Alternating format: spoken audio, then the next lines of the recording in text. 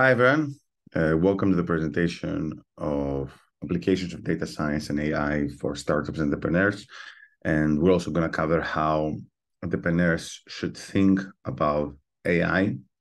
And in the first part of the presentation, uh, I want to cover the basics of how data science is being used within a business setting. Okay. Uh, and this holds for any type of organization, whether we're talking about a, a small, medium, or large enterprise. So in practice, there are countless use cases. Uh, however, uh, in reality, we can break them down into three parts, right? So if you want to go down the rabbit hole of use cases, you're going to find recommender systems, forecasting, chatbots, computer vision, you name it.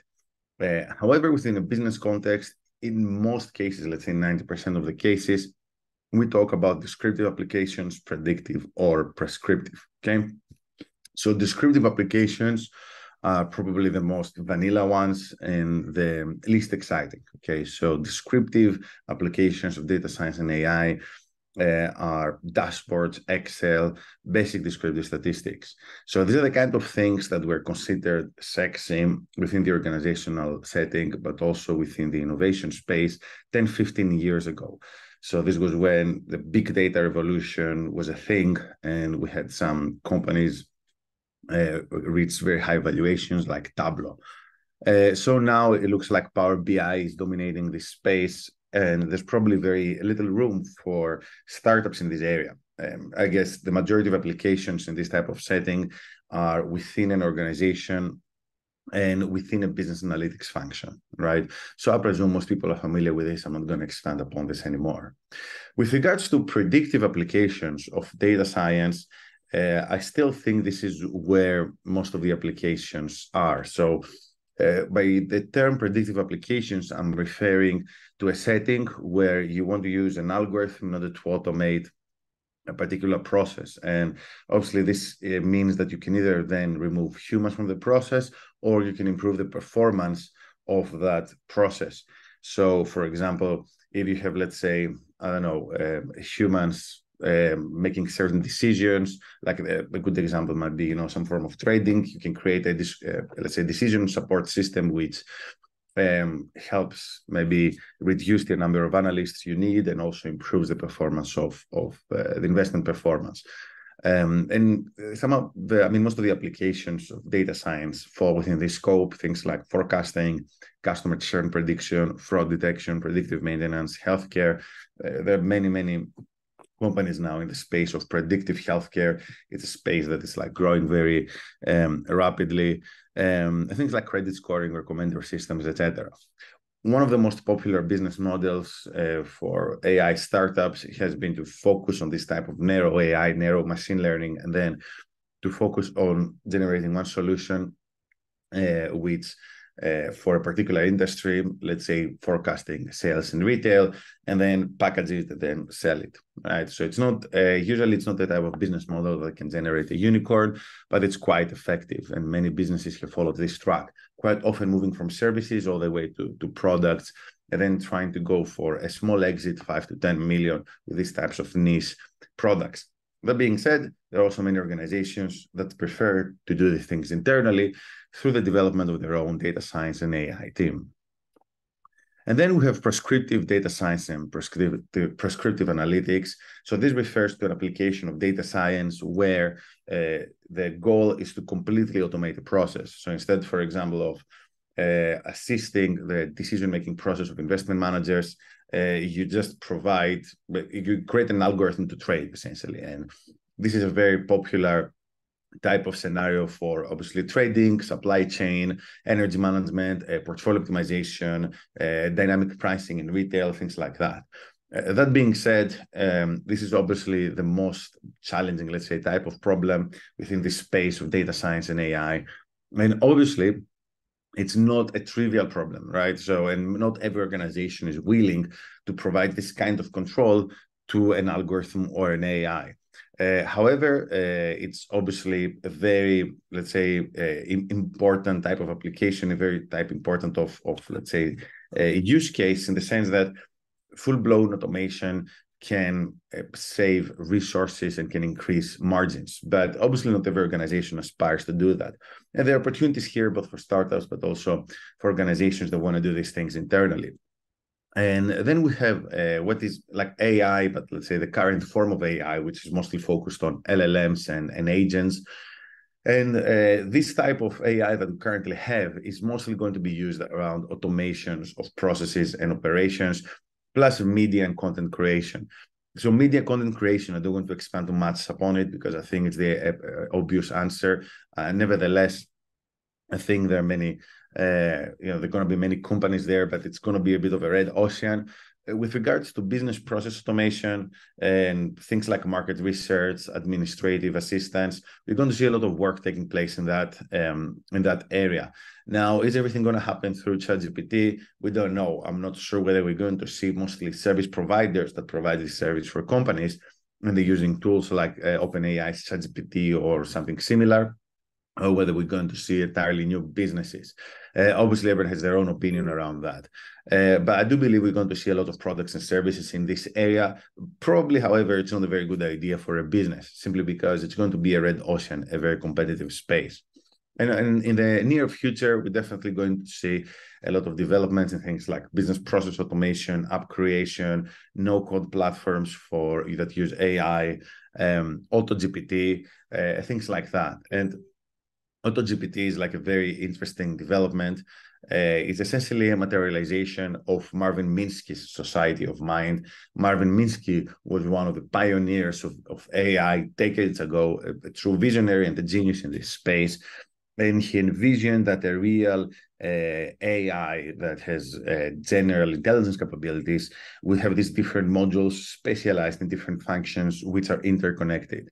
And this is what AutoGPT is doing. There's a project which is open source, I believe, even if it's on Microsoft's GitHub, uh, Jarvis, where you can request for this agent to do something and then you know it plugs in into these different modules. As like oh here's a model that's text to speech and another one to i don't know uh, generate more text and another one to generate images. And then it blends everything together uh, so you can understand how this is going to eventually assist with the creation of uh, the one man, um, let's say, entrepreneur uh, startup, um, which is something that has been discussed a lot uh, recently. Again, probably not a very good idea for a startup itself, but a very good development for entrepreneurs in the sense that if for example you are thinking of creating a new business and that business is maybe very marketing heavy maybe sales heavy this type of technology can definitely help alleviate some of that pressure of your shoulders so what CEOs need to know, and this by CEOs I refer to CEOs of businesses that are a bit more established as well as mid-level managers. Um, LLMs will enable a simple form of general AI, which enable the automation of many tasks. And we already discussed content creation, but this will involve any kind of form of text processing. But it looks like also ChatGPT now has data analysis capabilities, so it can even do things like produce graphs for you, etc. To a large extent, LLMs are just a better user interface because they allow us to interface with technology using language. And this is really where the power is. And in terms of the transformational impact of this technology, is going to be mostly around the fact that most businesses will require fewer employees and they'll be able to produce faster and more output. And we're going to witness the disruption and the destruction of many industries, as you're all aware. Now, with regards to the opportunities that exist for AI uh, for, sorry, for startups to use AI, uh, you have to be a bit more careful, right? So first of all, uh, it's probably a good idea to narrow down your focus. AI is moving fast.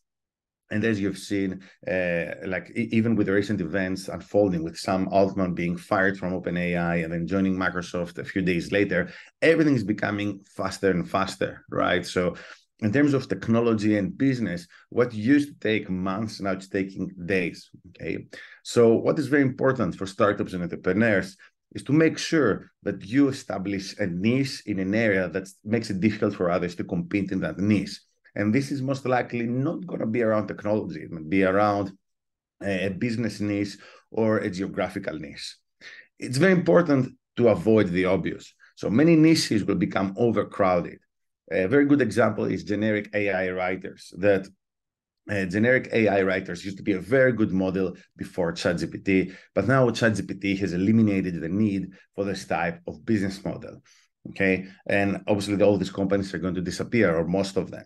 Another very good example comes from recent history, and that is text to voice. So text to voice is a very useful technology. It was never as popular or groundbreaking as ChatGPT, but there was a point where there were uh, researchers actively researching different text to voice algorithms and different services for that kind of thing. So now this is a service that has been commoditized, right? So this is what's going to happen, for example, with content writing. And it essentially resembles perfect competition.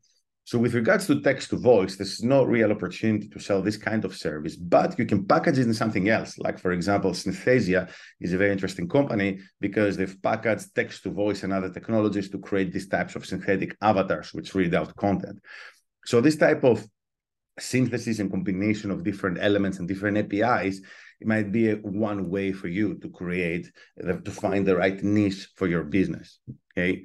And here are some other hints that uh, you know that, is good to take into account. For example you can take what you're already doing and try to do it faster using ai so maybe you don't really want to be an ai startup but you already have some operations in place and you just want to use ai to become more efficient. Again sales and marketing being a very good example of that. The same this also another approach to this is to, to replace humans with AI, because these two kind of go hand in hand. Um, and also, you know, another opportunity exists in the automation of what might be boring applications, which are very useful, like automating customer support. Some of the main case studies in this area come from that area, like automating customer support. Many applications in practice will still be based around traditional machine learning. Some of the areas we saw earlier on the in the section around predictive analytics. So things like demand forecasting, personalized uh, marketing, recommender systems, and so on and so forth. The thing with these types of applications is that the boom in AI has made these types of conversations easier. So it's become easier than ever to speak about these kind of things within um, you know within the organization. And I think this is, is very, very important because you can sell some kind of narrow machine, narrow AI some kind of machine learning application, and you don't really need to sell general AI, uh, artificial general intelligence. And now I think there's a very nice sweet spot in the market, and it's going to be there for the next two or three years or so, where selling these types of services is going to become easier and easier. So, how can you integrate AI into your startup? Um, so, one way to do it is to identify whether you need AI, broad AI, or narrow AI, identify whether there's an API for that. If there's an API for that, then it might be good to consider it. But obviously, you have to decide on the pros and cons of using your own solution, open source solution, versus using commoditized solution. Um, as we progress, open source is becoming more and more accessible and more and easier and easier to use. So that's something that will require some consideration. And then you obviously need to understand the KPIs, the cost of implementation, and how to use this information to raise money sometimes startups make mistakes around this part. So maybe they're like oh we're going to develop our own solution and it's just too expensive. Sometimes they make a mistake around the kpi they're not clear as to how ai will either help their own internal kpis or the eh, or the client's kpis and obviously this affects how they position themselves when they try to raise money from an investor. When you want to build an ai competency there are a few ways to do it one of the ways to do it is to be the first in your own sector. Okay, so I think that some companies uh, they do have a first mover advantage in this area, and it still matters a lot. The reason being that in order to carve your own niche, uh, the barriers to entry in this type of space are going to be low. It must really come down to the fact that you want to acquire a significant number of users in an area, so you lock them in, and they will not be willing to switch to a different provider think it's probably going to be very difficult to have some kind of advantage in terms of the technology when the technology is advancing so rapidly and is being commoditized. Another advantage might be to use your own model, which is a good idea under certain circumstances, not under any circumstance. You need to be very clear as to what the costs and the benefits are of such a solution. Uh, then to use AI in a specialized niche, okay, I think we already covered this. And then finally, developing a new model is probably a bad idea unless, unless you have a very clear picture of what you're trying to achieve and you're also an expert in this area. Okay, so that's like a very a, a very special, a different type of use case. So with regards to securing funds and partnerships, uh, I think that as a startup, you shouldn't obviously use your own funds most of the time. You need uh, to use the AI edge to raise more money at a better valuation. So I think that there is a lot of FOMO now around AI, and it's a very good opportunity to position your business in the right way to demonstrate how AI is going to help the business's valuation. And obviously, this is going to make investor conversations much, much easier. So if you say, hey, Mr. Investor, we need half a million to develop a solution for this, this is how it affects our internal KPIs and our clients' KPIs, you should be able to see 5x over the next round and 100x over the long run. Okay. And this is how you should really position it. The AI market is still experiencing some kind of FOMO, and we're going to see this type of FOMO going up and down over the next few years as there are new technologies being developed and uh, new versions of, of ChatGPT, new versions of LLMs, and new and more powerful GPUs. Investing in AI is always going, I mean, not always, but is going to return a very good multiple over the next few years if properly executed. Okay, if you do have a strategy, and you do know how to execute it. And this is how really you should position yourselves in the eyes of the investors that we need this money and we're going to turn it 10x in a few years because that's the reality. With AI, you can actually do that. You can actually do this now while the majority of businesses are not AI driven. This opportunity will not be there in five years from now. Okay. So, uh, another very important of raising funds is that you need to have some kind of data strategy in place and an AI strategy. So you need to have clarity on vision, resources, timelines, and ROI. And investors will care a lot about all of these points, especially the return on, on investment. So in terms of how you can measure the AI impact and the return on investment, um, there are a few ways to do it. I mean, there are different metrics that different companies go by, and here are some of them. So you can focus on cost savings, revenue increase, productivity improvement, quality improvement, risk reduction, innovation, customer experience, and competitive advantage. So all of these play a role into AI and how you position your, your unique technology. I believe the first few cost savings, revenue increase, and productivity improvement, they're probably easier to communicate. They're easier also to, to sell in a way. Um, others like risk reduction, innovation, quality improvement, maybe they're a bit more subjective, they're more domain specific, but in one, in one way or another, having at least one of them is going to help you pitch your startup in a more effective way. In terms of the tools that you can use in order to start and embark on your AI journey, um, there are obviously many out there, uh, ChatGPT being the obvious one, and obviously all the big cloud providers um, just in terms of open source, I wanted to make a special mention to Hugging Face and LangChain. Those of you who have a technical background are obviously aware of this, but those of you who come from different backgrounds, maybe you've never heard of them. So Hugging Face is an open source repository of LLMs and transformer models, including also stable diffusion models. And it's the way to go if you want to develop your own open source solution. LangChain is a library which allows you to combine different LLMs together to create your own chatbots and agents. So very, very powerful libraries, very, very powerful products. If you're considering open source, make sure to take a look at them. And frankly, you can do quite a lot of things by using, um, like by investing a small amount of money in things like using Hugging Face or Google Colab. I'm not saying you should take this to production level, but you know if you're an, an entrepreneur and you work under a lean mindset you can definitely do a lot with these types of with these types of tools and obviously if you want more advice on that because there are you know the, the number of platforms and tools is increasing every single day day by day more than happy to provide some advice. Just make sure to shoot me a message. So that was it for today. I hope you enjoyed it and hope to see you soon. Thank you